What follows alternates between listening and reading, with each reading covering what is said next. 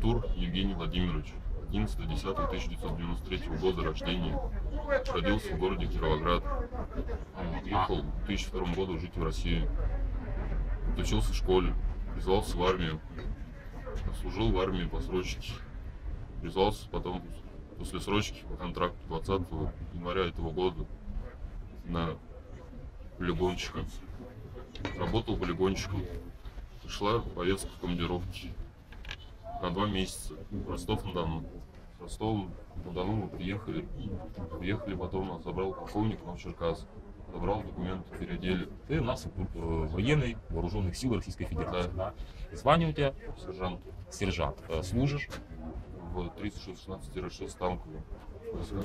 Еще раз э, часть поднять, пожалуйста. 30 616 30 616 40 46, да, там не, не, тире 6. а, тире 6. Да, Тире шесть, так, танковый. так называется. Танковая. Танковая. Специалист. Танковая. Короче, учебка, да? Учебка. Хорошо. Громче немножко можно? Говори громче чуть, пожалуйста. Как ты попал на территорию Украины? В октябре 14 я уже в поездку пришла, мы сели в поезд сразу. То есть тебе 14 октября пришла повестка, да? с 14 17 на 19 вроде. А, хорошо, пришла тебе повестка. То есть, наверное, не повестка, а распоряжение какое-то чье-то, да? по- повестка как обычная. Мгм. Съездить, сделать, приехать обратно. Хорошо. А что конкретно было написано в повестке? Просто командировка на два месяца. Командировка. А куда никто не Ростов. Командировка, на два месяца. Ну, отказаться, допустим, от этой командировки. Или ты даже не предполагал, что ты попадешь в? Я не предлагал, я думал, как обычно съезжу, сделаю, ну, приеду домой, спокойно все. Ну, приехал ты в Ростов, значит, Владимир, это где-то дня два ехать, э, сутки, да, то есть ты 14, 15, 16, где-то числа 16 был в Ростове, да? 14 выехали, 15 был. Ну, вот. Сколько вас там в Ростове держали? Два дня было. Два дня в Ростове. А такой вопрос Не еще. в Ростове, а в Черкас. С кем ты там в Новочеркасске общался? Ты, может быть, помнишь звание, С майором. майор, а фамилия. Ну, Фамилию не говорили. имя, может быть, Просто майор Евгений Ильич представил. Евгений Евгеньевич, да? А полковник ну, никак не писать, просто полковник и все. Евгеньевич. И ехали в, Украину по гражданке уже или еще в Граждан. Ехали в Украину по гражданке, да?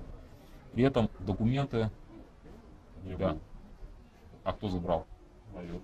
Ну хорошо, ты уже понял, что ты едешь в Украину, В Черкасске, когда в автобусе, еще не понял, уже подались границу, уже сказали, то, что готов выедет на Украину, полигон открывать. полигоны накрывать. Понятно. Отказаться была возможность? Нет. Почему? Если отказываешься, или сажают, или теряешься. То есть это у вас законодательно так предусмотрено. Нарушение приказа. Громче чуть-чуть. Нарушение приказа. Громче, Сколько, громче. говори. сколько, сколько лет у вас за это период? и выше. В зависимости как. Громче, Жень, В зависимости как судят. Понятно. А что такое теряешься? То есть если не сажают, то теряешься. Это что такое? возвращаешься и непонятно где. Убивают. А отправляют уже были случаи такие, что люди терялись? Вот один, да, офицер там уехал и все. А как? А вот эти ребята, которые с тобой приехали, 30 человек, они, ну вообще как отношение к этой войне? Которые мои ровесники, Да. которые тоже не стреляли, ничего, они тоже хотят домой. А которые будут постарше уже, ну, они как бы ну, с радостью. С радостью, да? Слушай, а мотивация какая? У тех, кто постарше. То есть вот они сюда приехали зачем? Что их заставило? Честно, не знаю, кто ничего не говорил. Не по желанию тоже, а по приказу.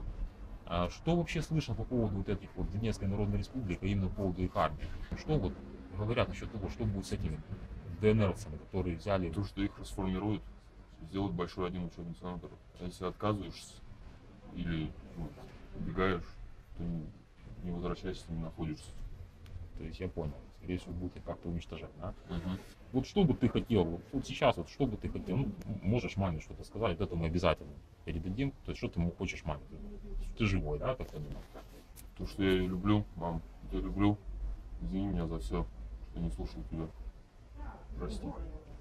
Что ты сразу с мамой прощаешься, я думаю, что вы с ней еще увидитесь. Попал ты в плен, да? Что с тобой происходило с момента, как вас взяли на борт? Бросили в багажник, привезли в другое место куда-то. Там-. Там стал хорошо относиться, дали свитер, накормили, напоили чаем, лекарства дали, одели. Как бы сейчас я сижу, пью кофе. А что бы ты хотел сказать вот своим сослуживцам? Если приходит поездка, не едьте. Вы если приедете, в любом случае, что вам не обещали, вы не вернетесь домой. Дома ждут всех дети и семьи. Но того не стоит. При возвращении в Россию к тебе как отнесутся? Ну, домыслы и логические рассуждения, то нехорошо. Некоторые телеканалы а, показывают такую информацию о том, что злые укропы обстреливают Донецк. Ну, что у вас по этому? То есть вот ты жил в Донецке, получается, с 18 числа и по вчера, это м, сколько, порядка там, двух недель. Э, Хоть раз были попадания в центр Донецка и за, это, за все это время. И Ну, Видел ли ты действительно факты того, которые подтверждают то, что рассказывают в России насчет э, того, что укропы, артиллерия убивают миром и не видел. Когда приехали, слышали пару взрывов. И вот всего лишь один день был. Вот, когда приехали, один день днем сильный взрыв был один. Где-то в городе, как говорят, точка У упал. А у тебя, вот ты будучи в Донецке или же будучи еще в России, смотря вот телеканалы, да, э, никогда не, не возникал вопрос, почему, почему э, вот эти вот все телеканалы появляются на месте взрыва или там обстрела, а, где-то, ну, где-то за минут 10 появляется до начала обстрела, причем находится где-то метров в двух- в 200 оттуда, куда попадают. Что ты думаешь по этому поводу? Не, знаю, что сказать. Ну а ты не думаешь, что это возможно провокация? Что устраивается теми же самыми боевиками? Чтобы разозлить народ, чтобы больше ушло, наверное, добровольцев. Э, СМИ в России, они показывают какую информацию про Украину? Ну, то, что идет сильные ожесточенные бои, Донецк всегда под обстрелом, гибнут мирные жители. А при этом ты как бы один раз только слышал взрыв.